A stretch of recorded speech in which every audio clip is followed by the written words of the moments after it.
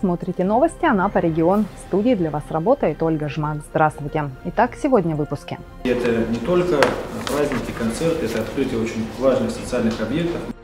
Киношок «Гаргипийские игры. 85-летие образования Краснодарского края». Программу сентябрьских мероприятий обсудили на оргкомитете в мэрии Анапы. Сейчас эти вопросы очень актуальны, поэтому мы стараемся как можно чаще проводить подобные семинар-совещания.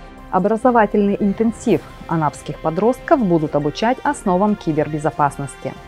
Они разъедутся по школам всего края и будут там фитнес-аэробику внедрять. Фитнес-аэробика в школу. В Анапе стартовал новый масштабный проект. Мэр Анапы провел личный прием граждан. Местные жители обращались с вопросами, касающимися благоустройства сельских округов, строительства социальных учреждений и производственных объектов. Подробности в нашем сюжете.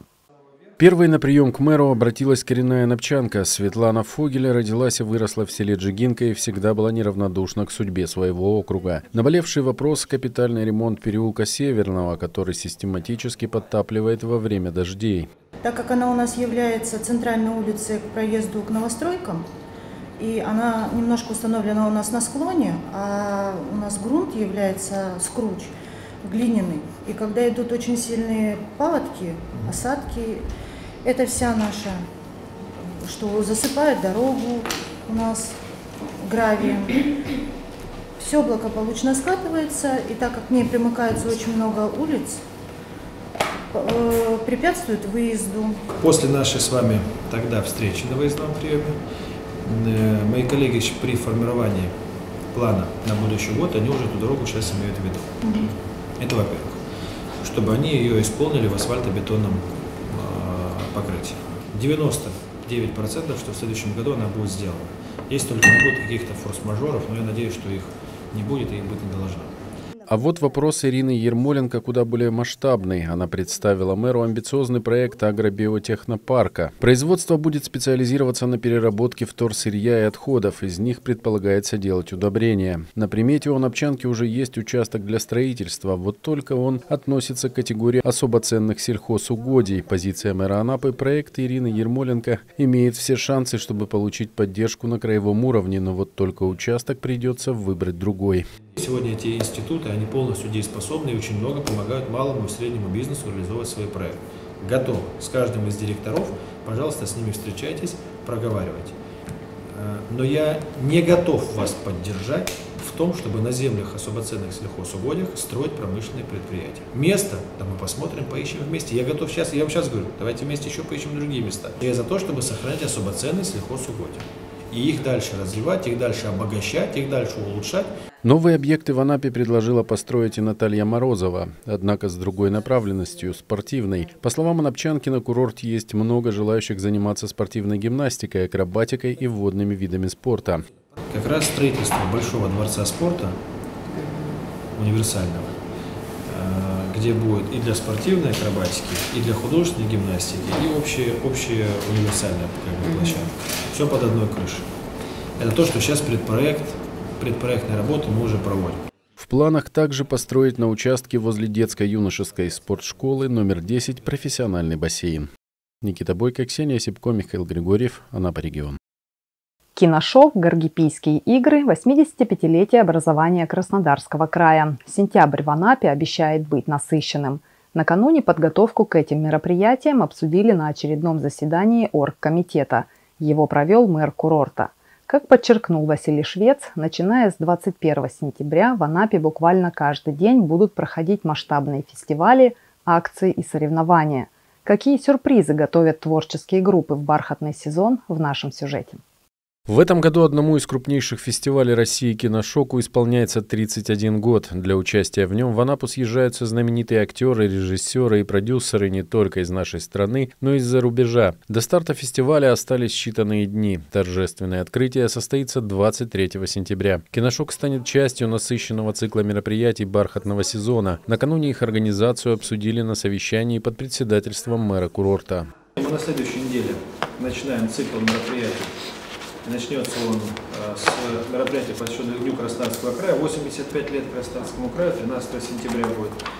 И это не только праздники, концерты, это открытие очень важных социальных объектов. Мы открываем новый парк в Субсехе, непосредственно посвященный 85-летию Краснодарского края, центр единоборств в Алексеевке. Насыщенной обещает быть программа спортивных мероприятий. Впервые на курорте пройдут Гаргипийские игры, которые объединят порядка четырех сотен участников из разных регионов России и городов, входящих в Золотое кольцо Боспорского царства.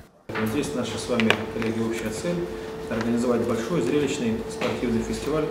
В будущем мы рассчитываем, что он станет традиционным, непосредственно проводимым в период бархатного сезона. Важнейшее направление – обеспечение безопасности гостей и жителей курорта во время мероприятий. Все открытые локации находятся в зоне действия комплекса «Купол» под наблюдением умных видеокамер. Никита Бойко, Ксения Сипко, Михаил Григорьев, Анапа регион. В Анапе прошел образовательный интенсив, посвященный социальным проблемам молодежи. В Центре культуры Родина собрались преподаватели, эксперты и психологи для того, чтобы найти решение наиболее актуальных задач по обеспечению безопасности подростков. Какие рекомендации были разработаны, узнал наш корреспондент Никита Васюхин.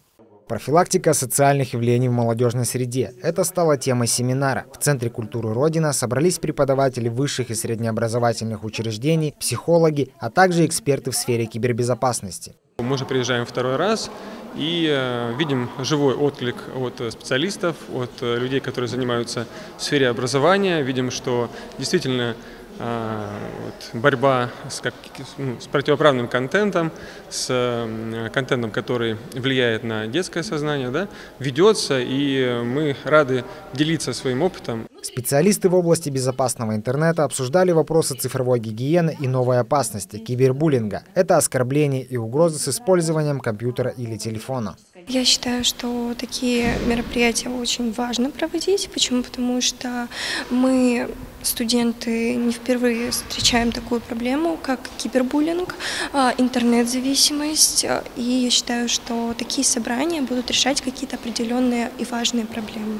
О всевозможных зависимостях рассказали специалисты Кубанского государственного университета. Они поделились своими наблюдениями и ответили на вопросы участников. Они были зависимые не от того, что им классно, а из-за того, что, допустим, хочется а, вот этой вот ячейки общества придерживаться. Да? Друзьям классно, ну, мне, наверное, классно тоже будет. На мероприятии также присутствовали эксперты в области анализа поведения и оценки достоверности информации. Специалисты уточнили, кто может находиться в группе риска и как бороться с экстремизмом. Сейчас эти вопросы очень актуальны, поэтому мы стараемся как можно чаще проводить подобные семинар-совещания, обучающие для коллег, чтобы предотвратить вот эти плачевные все мероприятия, которые, к сожалению, с молодежью происходят все чаще и чаще. У этой проблемы есть решение. Это максимальное информирование молодежи о возможных рисках, а поэтому такие семинары будут проходить в Анапе на постоянной основе. Никита Васюхин, Михаил Попов, Анапа регион. Краснодарском крае за сутки выявили 2040 случаев коронавируса. Больше всего в Краснодаре, Сочи и Новороссийске. В Анапе зарегистрировано 64 положительных теста. Всего же с начала пандемии на Кубани COVID-19 заболело более 305 тысяч жителей. С выздоровлением выписали 282 тысячи человек – Сегодня в стационарах от коронавируса лечится 801 пациент. 11 из них в тяжелом состоянии на искусственной вентиляции легких. Об этом сообщили в региональном министерстве здравоохранения. В Анапе провели всероссийскую патриотическую акцию «Широка страна моя родная» и запустили проект «Фитнес-аэробика в школу». Его участниками стали спортсмены, тренеры-преподаватели и представители мэрии города-курорта. На этих мероприятиях побывала и наша съемочная группа. Анапа традиционно принимает лучших спортсменов по фитнес-аэробике. Сегодня на территории детского лагеря «Энергетик» в селе Суко провели социально-патриотическое мероприятие «Широка страна моя родная» и дали старт проекту фитнес-аэробика в школу. Три, четыре! Спортивные коллективы провели красочное выступление. Главная задача всероссийского мероприятия «Широка страна моя родная» – объединить спортсменов, поддержать их и продвигать фитнес-аэробику в нашей стране. «Широка страна моя родная» – это очень важный проект, который сегодня подчеркивает лишний раз, что наша страна необъятная. Она необъятна не только своими территориями, но и людьми. Замечательными людьми, которые готовы на благо нашей Родины совершать подвиги. В спорте, творчестве, в обычной жизни. Но это каждый подвиг, он значим. И слава Богу, что это происходит здесь сегодня на нашей земле, земле Краснодарского края, нашем замечательном городе, городе воинской славы Анапа. Достаточно молодой вид спорта сегодня активно набирает популярность среди молодежи. Проект фитнес-аэробика в школу позволит преподавателям физкультуры пройти обучение и повысить свою квалификацию.